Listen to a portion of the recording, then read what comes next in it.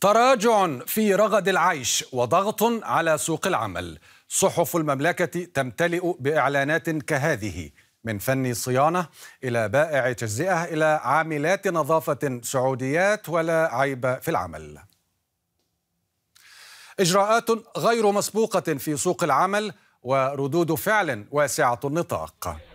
بعد هاشتاج تقليص العمالة الأجنبية مطلب شعبي وتوطين الصيدليات وتوطين الاتصالات. وسعودة السلطات السعودية تداهم متاجر وشركات لغير السعوديين وتبدأ عمليا في تطبيق السياسات الجديدة.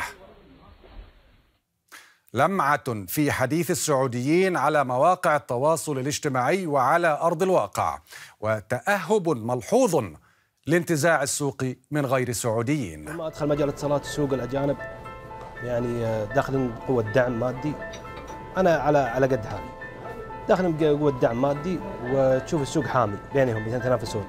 إلين يوقفونك عند حدك خلاص أطلع برا. يعني السوق مو لك الشغله مو لك قلق شديد في مقابل ذلك من جانب هؤلاء الذين تبلغ نسبتهم أكثر من 80% من مجمل سكان الخليج وهم أجانب من دول عربية أخرى ومن آسيا. وشكاوى لا تزال تترى من سوء المعاملة. أنا ما في خوف من كفير. شيل مكيف ركب مكيف ركب شفاطة خلاطة بلاطة. نفر سعودي زيادة أباطة. فكر أنا خوف. كل حاجة سوي أنت أنا شو؟ أنا ما في خوف من كفير. أنا ما في خوف من كفير. أنا شيل كل شي فوق جو. أنا شيل كل شي فوق جو. بين حق الدول في تلبية احتياجات اقتصادها ومواطنيها من ناحية وحق هؤلاء الذين أفنوا عقولهم ونفوسهم وأبدانهم في تشييد تلك الدول من ناحية أخرى. أين يستقر الميزان؟ طيب الله أوقاتكم.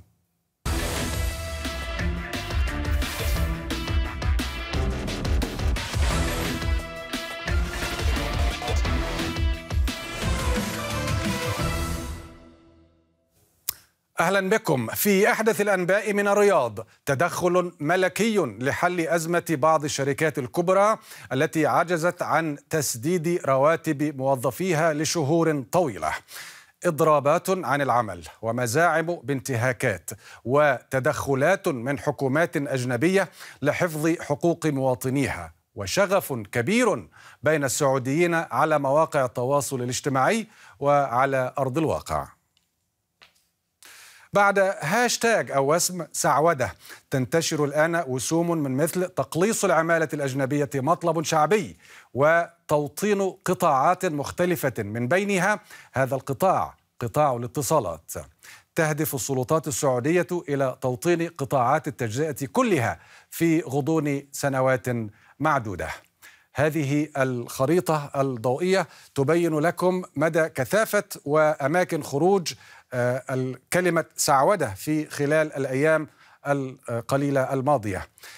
تحليل سريع للمحتوى يقودنا إلى هذا الرقم على سبيل المثال. ثلاثة آلاف تغريدة وقد أتت من أكثر من 1800 مستخدم. في خلال الأيام القليلة الماضية. معظمها أتى من الرياض ومكة والمدينة وارتبطت بها هاشتاجات أخرى مثل سعودة وفيلم خطوة أولى. بعض الإحصاءات الأخرى على سبيل المثال أهم تغريدة 31 ألف عامل لبناني في سعودي أوجي معقول. هناك أيضا بعض الإحصاءات الأخرى الخاصة بأكثر الروابط انتشارا. سنجد أن الرابط القادم هو أهم رابط على الأقل من ناحية الأرقام وهو سطور وحوار مع الدكتور سعود المصيبيح.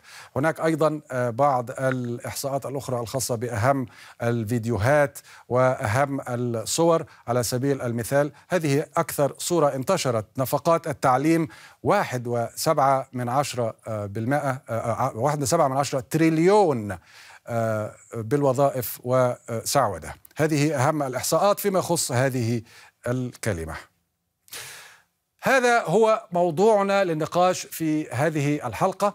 قبل هذا دعونا نلقي نظرة على أهم ما شغل انتباه الناس على مواقع التواصل الاجتماعي للأيام القليلة الماضية. كي نكون عادلين قسمنا لكم العالم العربي إلى ثلاثة أقسام. ننتخب لكم وسما من كل قسم من يمين العالم العربي واسم نساء الأولمبياد لا يمثلوننا. من وسط العالم العربي فك حصار حلب. من يسار العالم العربي الإعدام لخاطفي الأطفال. هذا الوسم الأخير سجل أعلى مشاركة من جانب النساء صادفتنا في أي وسم بنسبة بلغت أكثر من 62% من مجمل المشاركة. أكثر من سبعة ملايين داخل الجزائر وخارجها أتيح لهم نحو 1500 تغريدة آه، رآها أكثر من آه، ثلاثة ملايين مستخدم بمتوسط نحو مرتين. قصة هذا الوسم وعناوينه الرئيسة في هذا التقرير المختصر. الإعدام لخاطفي الأطفال هو وسم يعبر عن حزن وغضب في الجزائر. انتشر في موقع تويتر بعد أن تم العثور على جثة نهال طفلة اختطفها مجهولون قبل أيام. جريمة تستنكرها فلور وتتساءل إلى متى ستستمر هذه الوحوش في اغتصاب الأطفال؟ وهي أيضا جريمة تستوجب حسب المغردة ماريا كريم إعادة تفعيل عقوبة الإعدام المجمدة منذ ربع قرن. لكن الرابطة الجزائرية للدفاع عن حقوق الإنسان رفضت تفعيل هذه العقوبة حسب ما ذكرت صحف جزائرية. ووضحت الرابطة قرارها بأن العقوبة لن تقضي على ظاهرة اختطاف الأطفال. رفض أثار استنكار كريمة إذ علقت. هم ينظرون لشدة العقوبة ولا ينظرون لبشاعة الجريمة. في المقابل انتقدت أمينة شيك ما أسمته صمت السلطات الجزائرية. خاصة وأن جرائم اختطاف الأطفال في الجزائر بلغت العام الماضي إلى 287 حالة. الوسم الثاني وقد اكتسح العالم العربي وما وراءه. مبروك فك حصار حلب. إحصاءات ضخمة. بأكثر من 313 ألف تغريدة فقط على موقع تويتر. كتبها أكثر من 46 ألف مستخدم. هذه التغريدات أتيحت لأكثر من 26 مليون بني آدم وقد رآها أكثر من 15 مليونا. آه، شاركوا بمتوسط أكثر من مرة ونصف المرة. الغالبية العظمى أتت من هذه البلدان بالترتيب سوريا السعودية مصر الأردن اليمن ولكن أيضا من أوروبا والولايات المتحدة. وقد كانت للنساء نسبة تعدت الخمسة عشر بالمائة من حجم المشاركة. قصة هذا الوسم وعناوينه الرئيسة في هذا التقرير المختصر. انتشر هذا الوسم تزامنا مع إعلان المعارضة السورية المسلحة سيطرتها على مواقع جديدة في حلب. بينما نفى إعلام دمشق فك الحصار عن المدينة السورية الاستراتيجية. انتشرت فجأة صورة صلاح الدين الأيوبي ومقولته الشهيرة ما سررت بفتح قلعة أعظم من سروري بفتح قلعة حلب. مثلما انتشرت صور كثيرة للمقاتلين في مواقع مختلفة من حلب. كما انتشرت فيديوهات كهذا. تبين نساء يطبخن للمقاتلين وفقا لناشره عبد العزيز الحمزة وقد استخدم الوسم نفسه الذي استخدمه ملايين مبروك فك حصار حلب.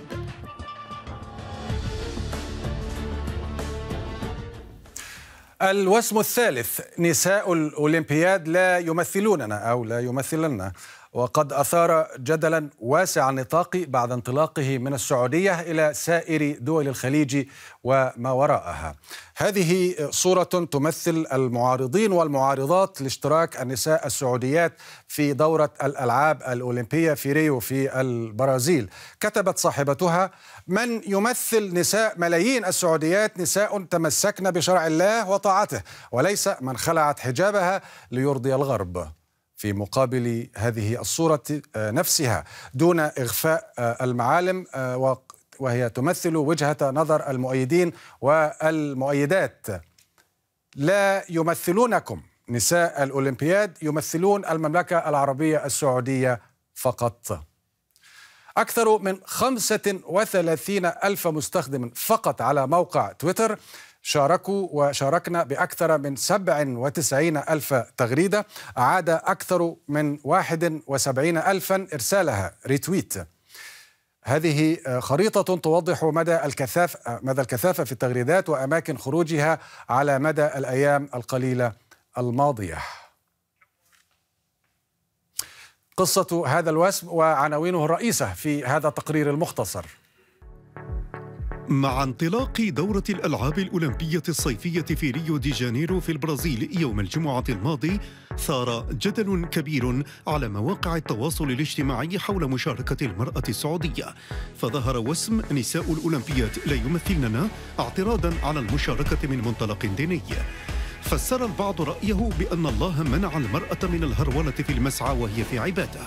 بينما رد آخرون بأن المشاركات يمثلن الدولة مثل السفراء.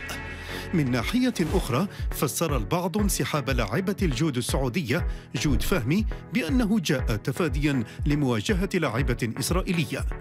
بينما قالت اللجنة الأولمبية السعودية إن الإصابة هي السبب.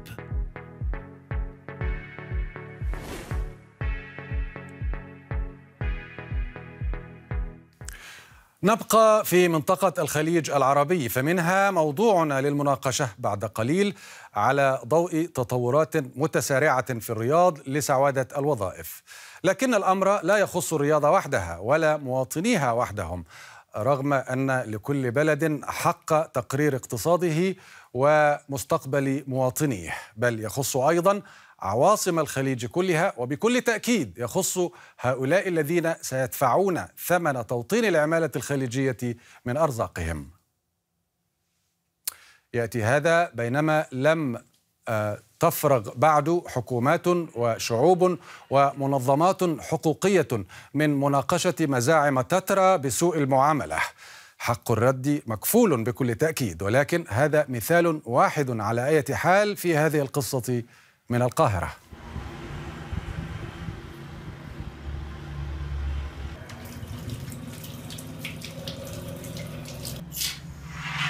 حصل مشكلة بيني وبين الكفيل رفعت ضده قضية علشان أضمن حقي في القضاء القطري زي ما الدستور القضاء القطري بيقول. القضية اتقبلت ولكن إدارة البحث والمتابعة للأسف أخذت من الكفيل بلاغ الهروب بتاعه ومشت بيه والقضية اللي أنا مقدمها لهم وبقول لهم إن أنا في بيني وبينه قضية ضربت بيها عرض الحائط.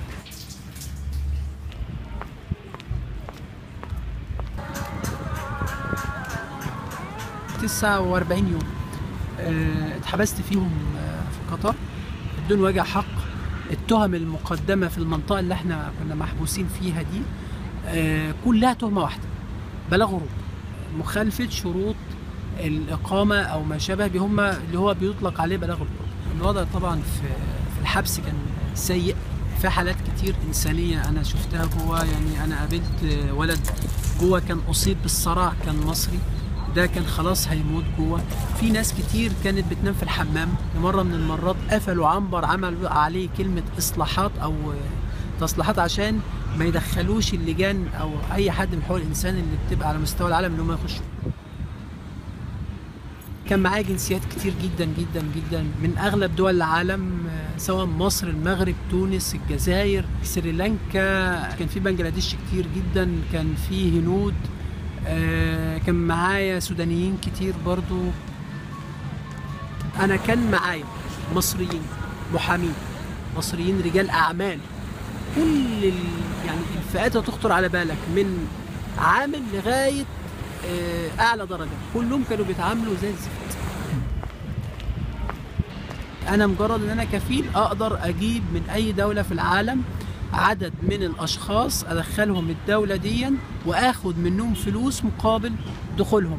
ولو حتى أنا جايبهم علشان خاطر الشغل وأكلت عليهم حقهم أو فلوسهم سهل جدا إن أنا في يوم وليلة أعمل بلاغ هروب ضدهم.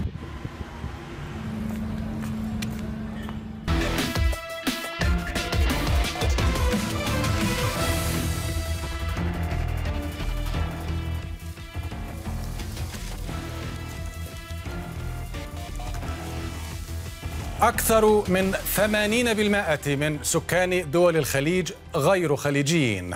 من بين هؤلاء نحو عشرة ملايين في المملكة العربية السعودية يمثلون أكثر من نصف قوة العمل. مع انخفاض درامي في أسعار النفط على مدى السنوات القليلة الماضية وارتفاع نسبة البطالة بين المواطنين إلى نحو 12% وزيادة مضطردة في سوق الطلب على الوظائف. من الصعب أن تلام السلطات السعودية في محاولتها استيعاب أكثر من ثلاثة ملايين من مواطنيها على مدى السنوات العشر القادمة. بدأت العجلة في الدوران فعلا وهي تنتقل من قطاع إلى قطاع. هذه مسألة لا تخص السعوديين وحدهم ولا الخليجيين وحدهم بل تخص أيضا مصائر الملايين من دول عربية أخرى ومن العالم كله هؤلاء الذين أنفقوا من عقولهم ومن نفوسهم ومن أبدانهم في تشييد دول الخليج وتخص أيضا حكوماتهم التي سيقع عليها عبء استيعابهم وهي أيضا بكل تأكيد تخص منظمات العمل وحقوق الإنسان. لمناقشة هذه التطورات اسمحوا لي أن أرحب معنا عبر الأقمار الصناعية من العاصمة اللبنانية بيروت بالسيد أحمد بن شمسي المتحدث الإقليمي باسم منظمة هيومن رايتس ووتش.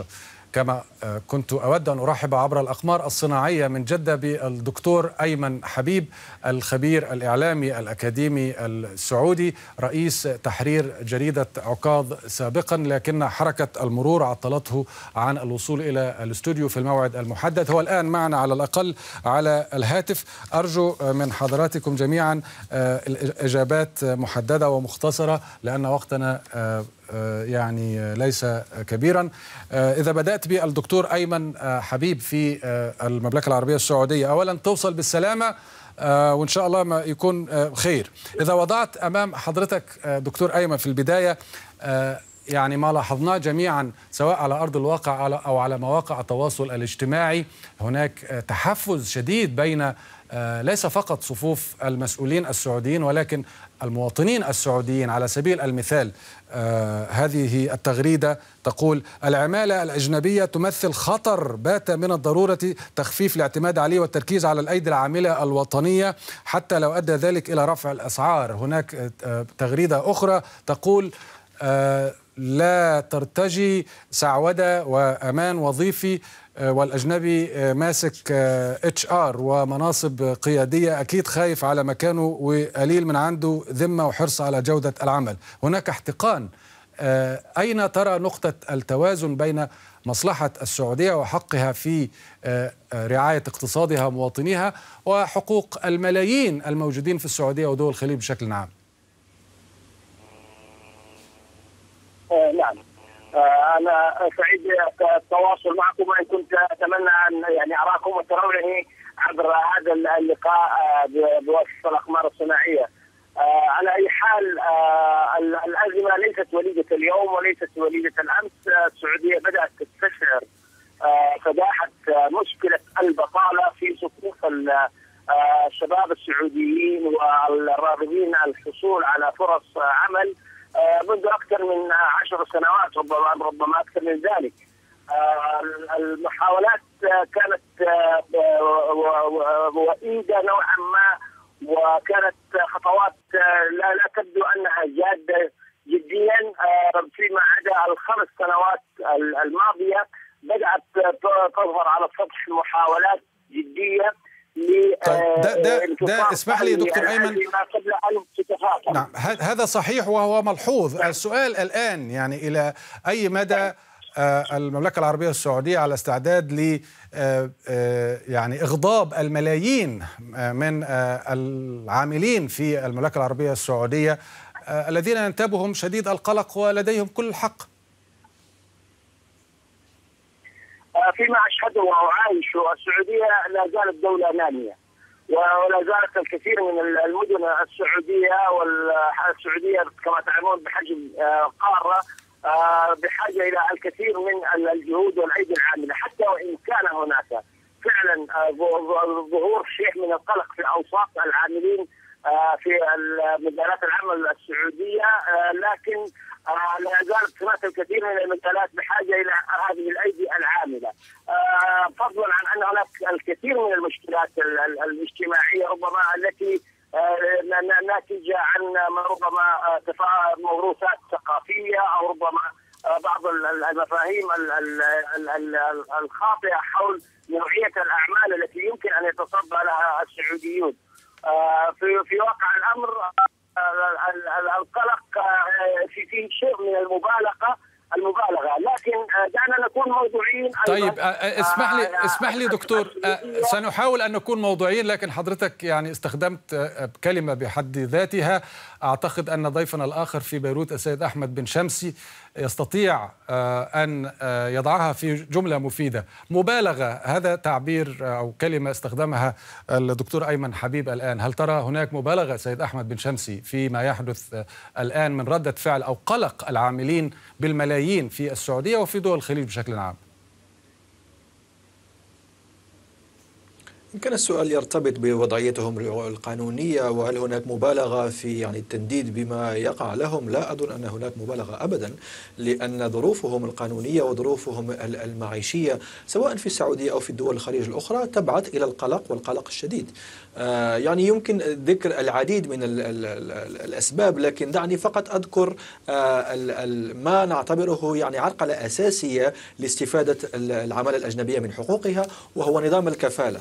نظام الكفالة الذي معمول به في السعودية وفي دول الخليج الأخرى بصفة يعني آه، عامة يربط آه، آه، سكن يربط يعني الوضعية القانونية لأي عامل أجنبي برحمة كفيل وهو شخص يضمن وجوده في العربية السعودية. وهذا العامل لا يستطيع أن يغير العمل أو حتى أن يخرج من المملكة إن لم يرضى على هذا كفيله. وهذا يقيد من يعني من يقود من من من حريته في تغيير العمل أو في الحركة وهذا هذه يعني آه، هذا انتهاك صريح لحقوقه. فإذا لا أظن أن هناك مبالغة في التنديد بالانتهاكات. طيب آه، هناك سيد أحمد بن شمسي يعني آه، آه، الكثير من الأمثلة آه، على ذلك بكل تأكيد. لكن آه، يعني هيومن رايتس ووتش وحضرتك تتحدث باسمها في آه، المنطقة العربية آه، كان لها تقرير آه، قبل نهاية العام الماضي ذكرت فيه تحديدا إنه منذ الثامن عشر من أكتوبر آه، من العام الماضي حين فعلت حزمه من 38 آه، تعديلا لنظام العمل أصدرت وزارة العمل في السعودية يعني مراسيم يفرض وبفرض و أو زيادة الغرامات المنطبقة على أصحاب العمل الذين يخالفون القواعد القانونية. تشمل هذه القواعد حظر مصادرة جوازات سفر العمال المهاجرين وعدم دفع الرواتب في أجالها وعدم تزويد العاملين بنسخ من عقودهم. هذا تحسن آه، آه، يعني ملحوظ أليس كذلك؟ فعلا تحسن قانوني ويعني كل هذه الخطوات مثل هذه محمودة لكن القانون شيء والتطبيق شيء آخر. فنحن نود كمنظمة حقوقية لو كان في إمكاننا الذهاب إلى المملكة العربية السعودية وإلى دول الخليج الأخرى لكي نحقق في آه، يعني ال- الوضعية ال- على الميدان هل يطبق هذا القانون هل هل هناك طلبتم آليات فعلت من طرف السلطات للمقاطعه السعودية؟ آه، هل هل طلبتم رسميا من السلطات السعودية ومنعتكم من زيارة البلاد؟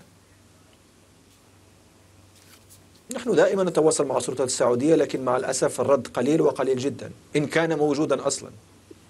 طيب آه، دكتور أيمن حبيب آه، في المملكة العربية السعودية بالقرب من آه، جدة إحصاءات آه، كثيرة آه، عن أعداد العمال على سبيل المثال كي يكون السادة المشاهدون معنا في الصورة على سبيل المثال آه، الجدول تحتله الهند بأكثر من مليون وسبعمائة ألف عامل تليها باكستان ثم بنغلاديش ثم مصر كأكثر الدول العربية.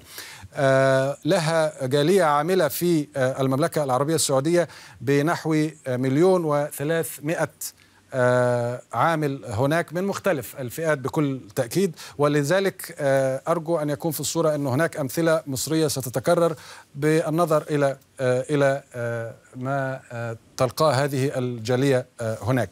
هناك أيضا شكاوى كثيرة آه، دكتور أيمن حبيب آه، على سبيل المثال من آه، الهند. لو آه، ألقينا نظرة على هذا الجدول سنجد أن الهند وحدها أحصت آه، وضعت المملكة العربية السعودية في المرتبة الثانية بعد قطر من حيث عدد الشكاوى التي وصلتها أكثر أكثر من آه، 11 مليون و195 ألف شكوى آه، آه، وصلتها من مواطنيها في المملكة العربية السعودية هذا رقم ضخم من الشكاوى بشأن انتهاكات مزعومة أليس كذلك؟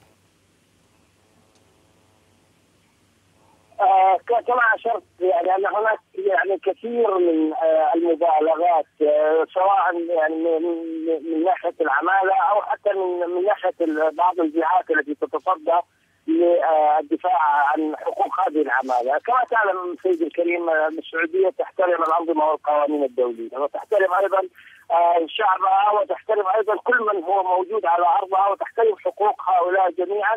وإذا كان هناك ثمة أخطاء فرديه فلا تعتبر انها أخطاء دولة أو أخطاء هي. هي هي المسألة آه، دكتور؟ السعودية. دوله آه، اسمح لي ان اقبل يا أخي كريم آه، السعودية يعني دولة متحركة متطورة. يعني طب بكل بكل تأكيد لكن لكن على سبيل المثال دكتور أيمن حبيب هل إن كنت تسمعني هناك؟ على سبيل الم... وزيرة آه، الخارجية الهندية بنفسها كتبت على موقع تويتر آه، بشأن ما يقال حضرتك تستخدم كلمة مبالغة آه، يعني أكثر من مرة. كتبت على موقع تويتر تقول آه، عدد العمال الهنود الذين يواجهون أزمة طعام في السعودية يتعدى عشرة ألاف وليس ثمانمائة كما يقال.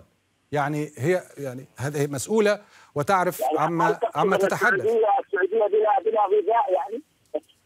لا هي كانت تتحدث عن موقف موقف بعينه. هذه التغريدة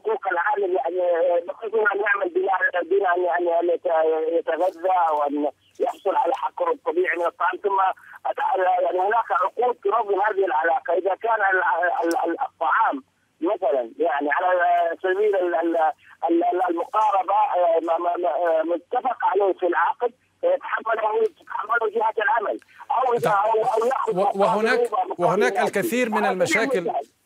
هناك الكثير من المشاكل كما نعرف وباعتراف السلطات السعودية مع شركات كبرى كثيرة آه، ليست شركة واحدة آه، تأخرت فيها الرواتب لشهور طويلة ولا تزال الأزمة منعقدة حتى اليوم واستدعت حتى تدخلا ملكيا. شركتين معينة ويعني هذه الشركات آه، ستضم أعداد كبيرة من العماله وربما هذه ال- يعني الحالات الحال- الحالات المحدودة هي التي ضخمت ال- الانتباه بأن هناك لو أن هناك فعلا حالة يعني آه، آه، تعشف في حقوق ال- ال- العمالة الأجنبية أو اضطهاد أو أو نوع من لا أحد يستطيع أن يجبر أحد على البقاء في طيب. أرض المملكة العربية السعودية من ملك من ملك السعودية إلى آخر مواطن هناك هناك لا بعد إذن حضرتك دكتور أيمن هناك البعض أجبروا تركب المغادره إلى بلدي.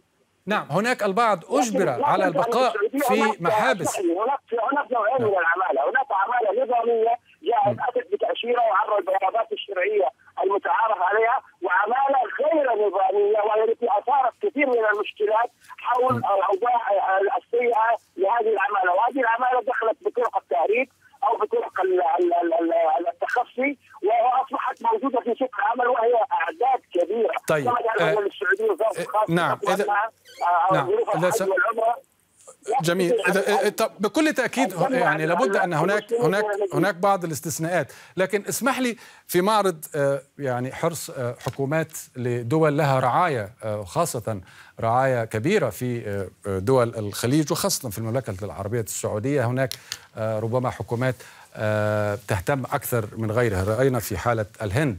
أيضا في حالة مصر كانت هناك حالة الدكتورة آه، طبيبة آه، يعني كان لها خلاف آه، ومن الواضح أن كان هناك تعنت من جانب رئيسها في العمل الذي كان طلب منها أن تقوم بدور آه، هي رأت أنه لم يكن آه، دورها وسجلت آه، آه، تخاطب فيها السلطات السعودية على أعلى مستوى.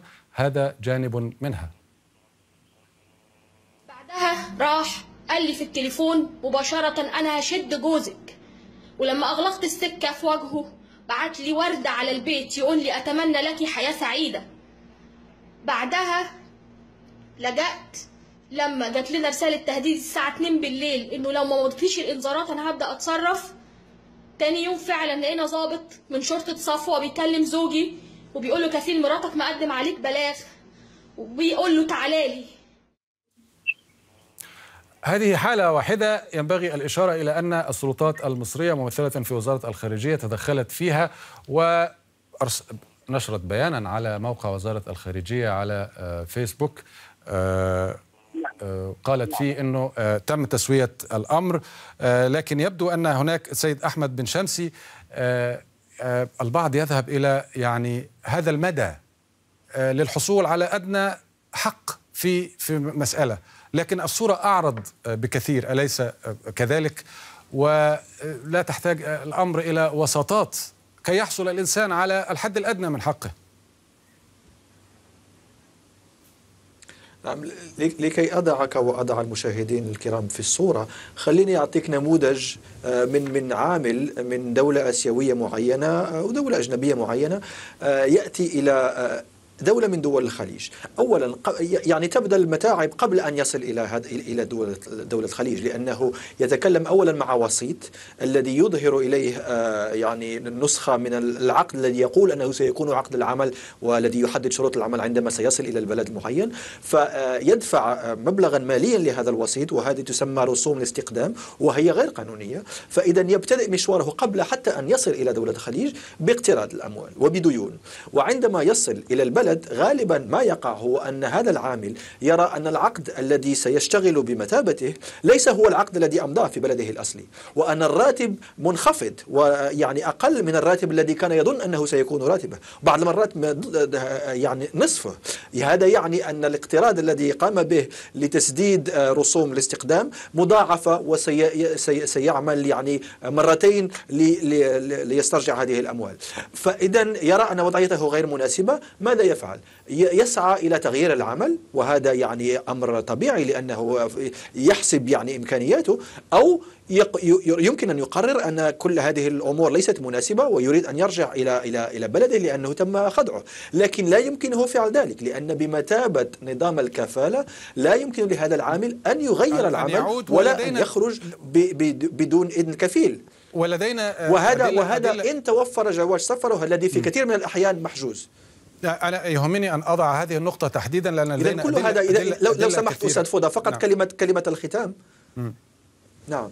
فقط كلمة الختام لهذه الوضعية. إذا إذا جمعنا كل هذه العناصر ففي آخر المطاف نرى أن كل عناصر تتوفر لشيء يشبه كثيرا العمل القسري. وهذا طيب. حال الملايين في هذا. هذا هذا هذا تعبير في منتهى القوة. آه، دكتور أيمن حبيب آه، سيكون لديه الوقت ل آه، يعني آه، تفنيده إن أراد. لكن إذا سمحت لي دكتور أيمن إذا سمحت لي أنا أنا معك دكتور أيمن. سأعود إليك آه، أعدك.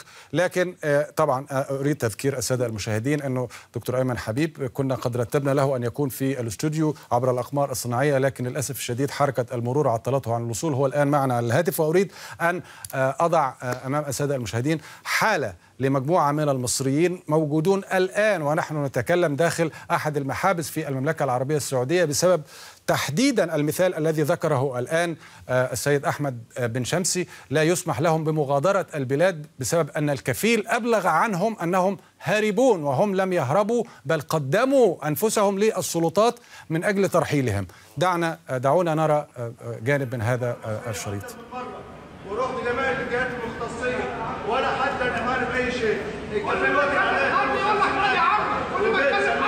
يا عم عشان أروح ولا حد معايا في اي اتجاه يقول لي القرار ادفع 10000 عشان تروح أجيب منين 10000 ادفعهم اذا كان تيجي تكلم الظابط يقول إحنا ما يا عم إحنا مش عبيد. إحنا مش عبيد هذه هي الصرخة من أحد المحابس الآن في المملكة العربية السعودية. آه، بكل تأكيد هناك آه، تعقيد في الصورة لكن للدكتور أيمن حبيب الحق في ذلك لأنه ليسوا آه، استثناء. هناك حالات كثيرة صادفتنا وتواصلت مع البرنامج كتعرض آه، حالاتها. لماذا إذا كان العامل على استعداد لمغادرة البلاد؟ يمنع وتفرض عليه آه، عشرة آلاف آه، ريال. لمجرد أنه يريد أن يغادر بعد أن آه، تقدم كفيله بشكوى يق- يقولون إنها شكاوى كيدية أنهم هربوا وهم لم يهربوا.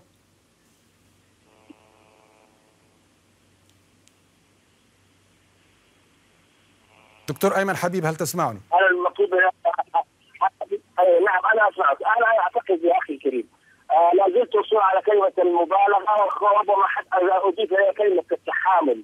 آه نحن ننسى أن المملكة العربية السعودية أيضا بها بشر وناس لهم حقوق ولا اريد ان يعني ارد المثل بالمثل واقول كم من الجرائم وكم من الاختلالات الاخلاقيه والاختلال الانحرافات التي جلبها هؤلاء الذين جاءوا من أجل العمل ثم تحولوا بشكل أو باخر نتيجه آه، تراكمات معينه دكتور ايمن نحن لا نناقش آه، هذا خبرات معينه لديهم نحن نحن لا نناقش هذا دكتور ايمن واذا تريد ان اشارك مستمعا فهذا أمر يعني أنا لا اقبله.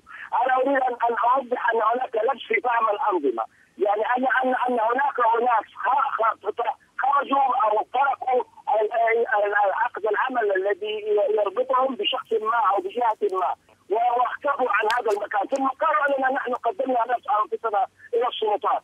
هل السلطات بالعقل بالمنطق شخص يأتي إليها ايا كان جنسيته وايا كانت ديانته يمكن ان احول الشخص النظيف النزيه البريء إلى مجرم هذا هذا يعتبر تعالي على الحقائق حتى وعلى الفكر الموضوعي نحن طيب. نعتقد انه ان هناك ثمه تحامل من أجل تشويه واقع معين هناك اخطاء فرديه أنا اتفق معك هناك تصرفات لكن هناك انظمه تحكم العلاقه وهي انظمه يعني متعارف عليها دوليا وتطلع عليها الكثير من الجهات أنا اؤكد لك ان من يريد ان يغادر ارض المملكه العربيه السعوديه لا يستطيع ولا يجرؤ احد ان يمنعه من المغادره لو ذهب طيب. إلى سفاره ارجو بلاده ارجو سعيد سعيد ان حضرتك تفضلت بهذه الجملة. دكتور دكتور أيمن حبيب. طيب. جميل. ونحن لا نتحدث نتحدث عن رغبه رغبة الإنسان في في أبسط حقوقه أن يغادر بلدا ما رغم أنه له حقوق كما يزعمون. على أي حال على لا تستطيع ان يغادر انت صدقت حاله أو حالتين لكن تعال انظر إلى النظام والقانون واذهب إلى ق- اداره الجوازات والى اداره الادارات المعنيه بهذا الامر إلى القضاء وستجد ان هناك كثير من المغالطات فيما يقال طيب آه آه طيب آه اسم- اسمح لي طيب أنا أنا سأضع أمام السيد أحمد بن شمسي كل ما قلته إن أراد التعليق عليه لكن أضيف عليه أيضا إحقاقا للحق أنه آه، بالأمس آه، أو في الأيام القليلة الماضية آه، في الواقع نشر في صحف آه، سعودية آه، عن آه، توجيهات لخادم الحرمين الشريفين بضرورة آه، وضع آه، أولوية للتعامل الحسن مع العمالة الوافدة. هناك أيضا وكالة الأنباء السعودية آه، أصدرت آه، آه، يعني تقرير صحفي كي ألخصه لحضراتكم أمامكم على الشاشة. إجراءات تم آه، يعني آه، أو أو توجيهات من خادم الحرمين الشريفين تجديد الإقامة مجانا أو استخراج تشري- ت- تأشيرات خروج نهائي مجانا. رفع مستوى الخدمات الأساسية للعاملين. توفير الدعم القانوني للعاملين مجانا. تكليف الخطوط السعودية بتسفير العاملين مجانا إلى بلدانهم. سيد أحمد بن شمسي هذه إجراءات إيجابية. آه، أم أن لديكم شكا في إمكانية تطبيقها؟ لا هي إجراءات إيجابية وإن تم تطبيقها فعلا فسيكون هذا الأمر محمودا جدا. لكن آه، فقط للرد آه، وهذا يعني للإشارة آه، يظهر أننا لا نتحامل عندما تكون أخبار إيجابية فنحن سعداء جدا بالتسطير عليها. لكن فقط للرد على ما جاء به ضيفكم الكريم حيث قال أن يعني لا أحد في السعودية أو في دول خليجية أخرى ربما يمكنه أن يمنع شخصا من مغادرة البلد إن أراد هذا الشخص المغادرة فهذا بكل بساطة معلومة مغلوطة لأن يعني في طيب. عمق نظام الكفالة أن لا يستطيع العامل الأجنبي مغادرة البلد بدون طيب. آه بدون إذن الكفيل واسمح لي اسمح لي أتمم اسمح لي اسمح لي أتمم اسمح لي أتمم.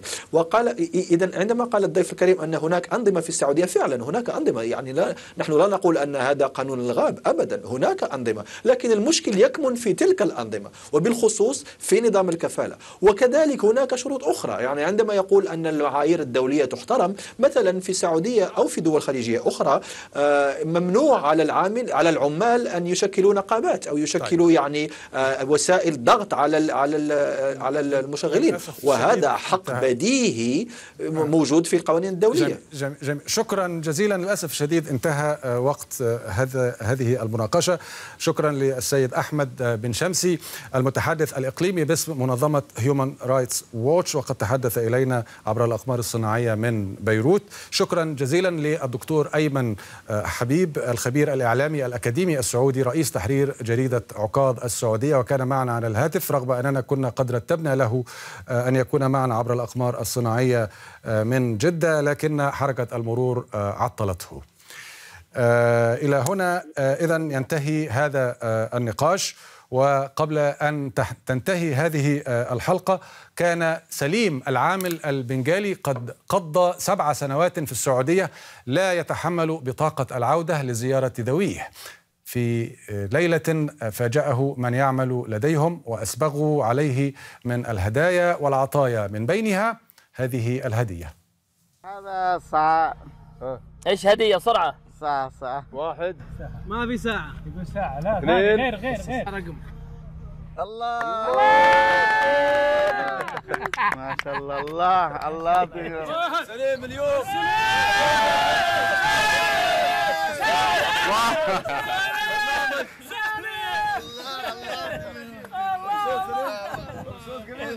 ما شاء الله. سجل جهازك. سجل كلمة. جهازك. سجل جهازك. لو كانت الدنيا كلها هكذا وحسب مش ديش آين باللغة الألمانية تعني حرفيا احشر نفسك. هذه هي السلطة الخامسة. فشارك معنا بالرأي والسؤال والصورة والفيديو عبر موقعنا الرسمي وعبر صفحاتنا على مواقع التواصل الاجتماعي. طيب الله أوقاتكم.